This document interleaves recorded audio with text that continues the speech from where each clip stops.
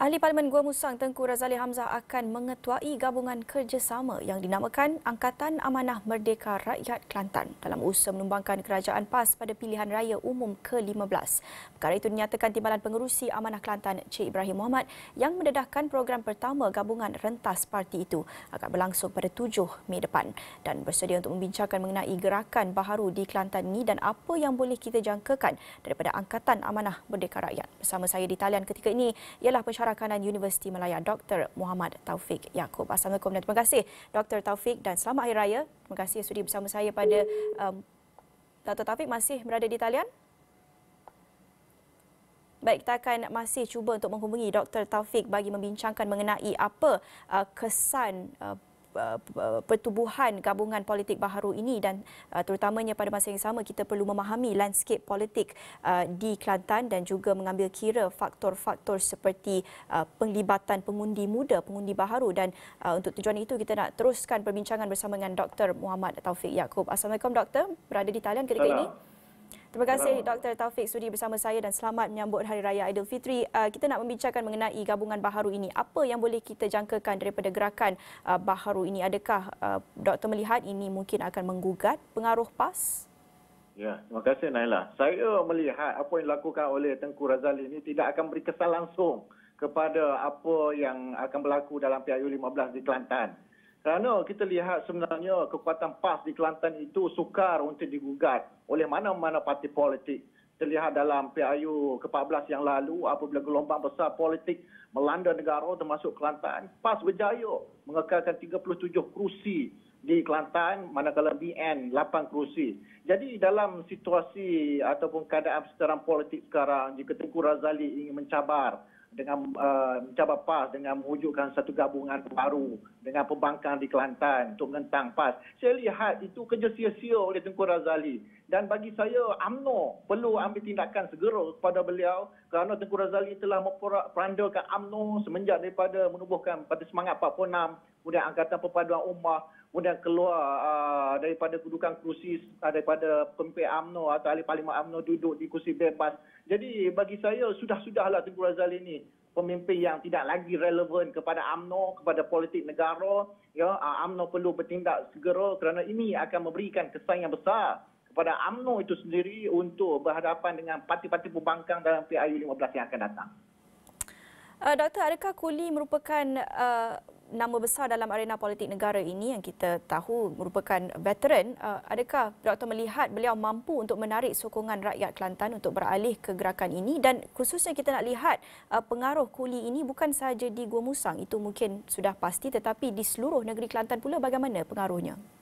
Sudah tidak ada lagi pengaruh Tengku Razali di, di Kelantan ataupun di seluruh negara kerana kita lihat dalam faktor usianya uh, dan uh, bagaimana pengaruhnya dalam AMNO itu sendiri tidak mampu untuk memberikan satu impak yang besar. Kita lihat dalam pemilihan Presiden AMNO sebelum ini pun Tengku Razali tidak memberikan satu saingan yang hebat kepada dua calon lagi iaitu Datuk Seri Ahmad Zahid Midi dan Khairi Jamaluddin. Jadi itulah sebenarnya indikator di peringkat nasional kemudian di Kelantan Uh, dan bagi saya apa yang boleh dilakukan oleh Tengku Razali dalam tempoh uh, sebulan dua ataupun menjelang PIU 15 berikanlah uh, peluang kepada muka-muka baru. Janganlah wujudkan lagi perkelingkahan politik dalam AMNO AMNO semakin uh, memperbaiki kedudukannya pengaruhnya dan ini merupakan satu tindakan yang tidak baik kepada imej AMNO itu sendiri dengan mewujudkan gabungan baru di Kelantan dan uh, memecah belahkan kekuatan politik AMNO di Kelantan. Uh, sudah-sudahlah dengan uh, memperandakan AMNO Kelantan itu sendiri. Jika bukan kuli untuk mengetuai gabungan baharu ini, pastinya uh, menarik untuk kita lihat apa-apa sahaja perkembangan ataupun pertubuhan gabungan politik baharu untuk uh, mungkin merancakkan sedikit uh, perkembangan politik di Kelantan. Tetapi jika bukan kuli siapa mungkin uh, figura atau personaliti yang mungkin Dr Taufik melihat? Muka-muka baru seperti yang Dr Taufik katakan itu. Uh, siapa yang mungkin uh, boleh uh, dipertimbangkan atau apa bentuk gabungan politik baharu yang mungkin diperlukan dalam uh, landscape politik di Kelantan Ya, kita lihat ada pemimpin pelapis, misalnya Dr. Ashraf Wajdi itu boleh diketengahkan sebagai pelapis baru untuk uh, masuk dalam PIU 15 bagi mewujudkan satu kekuatan baru pada UMNO Kelantan Dan bagi saya, jika dilihat satu kerjasama politik yang lebih aman dan harmoni, melibatkan UMNO dan PAS di Kelantan, itu lebih baik kerana ini menjaga satu uh, politik Melayu yang lebih kuat, yang lebih harmoni berbanding dengan berbalah satu antara sama lain. Kerana kita lihat parti-parti lain, misalnya PKR ataupun dalam Pakatan Harapan itu sendiri tidak mempunyai satu peluang yang besar di Kelantan dan uh, politik Kelantan itu melibatkan politik uh, kepartian yang kuat uh, UMNO ataupun PAS semata-mata. Parti-parti luar yang ingin masuk bertanding di Kelantan itu bagi saya cukup sukar dan mereka akan melalui satu liku-liku politik yang uh, dahsyat kerana kita lihat perlu memecahkan tradisi kepercayaan pengaruh UMNO atau BN itu di Kelantan dan bagi saya itulah nama yang cukup sesuai untuk uh, dilihat sebagai seorang pahlawan baru AMNO di Negeri Kelantan ya uh, mewujudkan suatu suasana persetaraan politik wajah baru di Negeri Kelantan. Uh, Dr. Taufik, akhir sekali kita lihat uh, pembentukan gabungan baharu ini antara lain uh, bertujuan untuk menumbangkan kerajaan PAS pada PRU 15 akan datang. Uh, jika bukan uh, personaliti yang kita sudah melihat dalam gabungan politik ini, apa yang diperlukan sebenarnya untuk um, um, merancakkan ataupun mungkin menumbangkan kerajaan PAS pada PRU ini?